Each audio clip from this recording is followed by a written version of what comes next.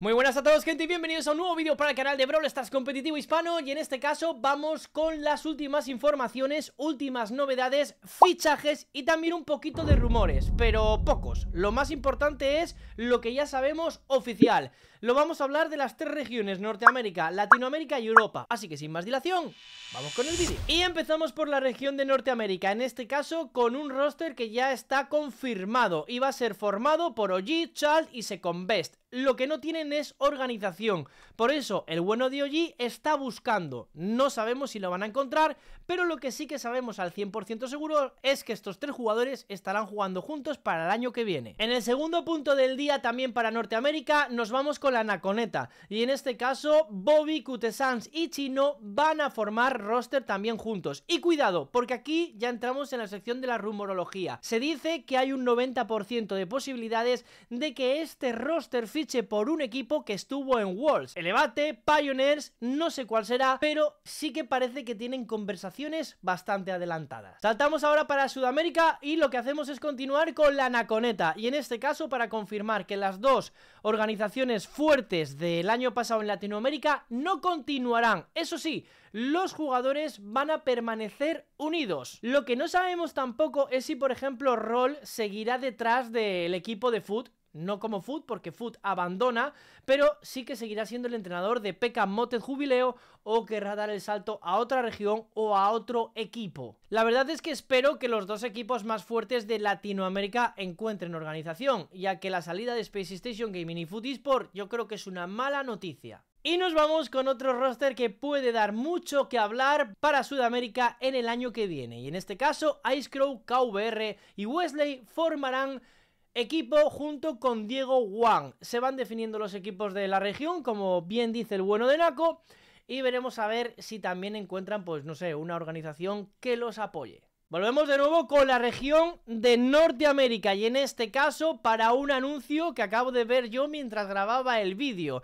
y es que tenemos a Zoulan, Fade y Tyrant como un equipo único. Hay dos jugadores aquí que estaban en Try Gaming y no sabemos si les han echado a la calle o simplemente han sido ellos los que se han ido. El caso es que están buscando una organización que los represente para el siguiente Brawl Sports Season, por lo cual Mucha suerte para ellos. Y aquí vamos ya directamente con informaciones de las cuales no os puedo adjuntar ningún documento gráfico porque son cosas que a mí me han contado a pesar de que no voy preguntando por ahí, que conste.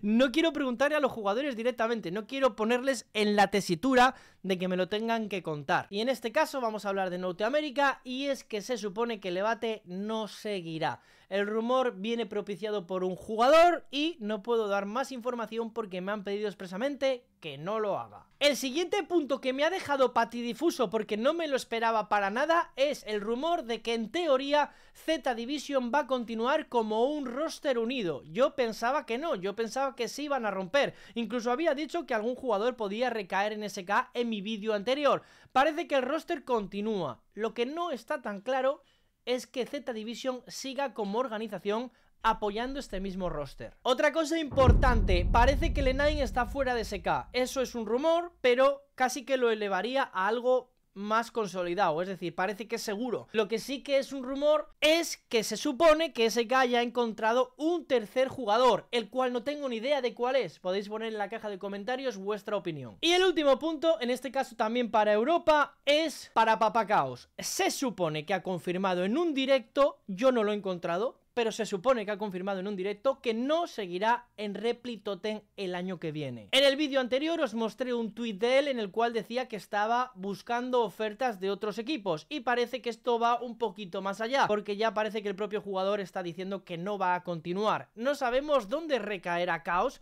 en caso de salir de Replitoten, pero lo que sí que se rumorea es que Replitoten también ha encontrado un tercer jugador y se supone que es un jugador que no estuvo en el Mundial.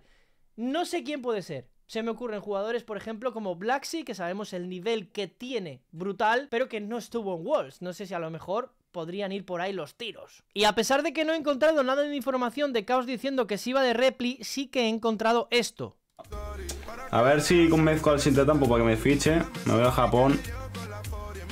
Y ganamos el mundial, tío. Yo se lo he dicho, yo se lo he dicho al Chito tampoco, bro. Conmigo ganamos el mundial fácil. Los dos mejores jugadores del mundo a nivel individual. Fácil, bro.